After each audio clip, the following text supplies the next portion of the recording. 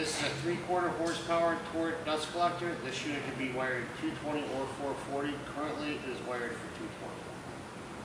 As you can see over here on the side, we have an on and off switch on this model. So we can go from on to off. Uh, we also have a foot shaker to shake the filters down into a pan into the bottom. Uh, this unit also has a flexible hose with, with an arm on it so you can put it in whatever position or whatever machine that you need it to be in. The bearing sound in excellent shape in the motor.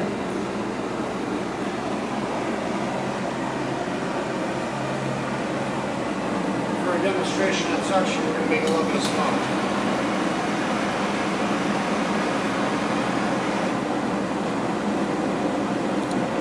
As you can see, it goes right up there. Not a problem at all.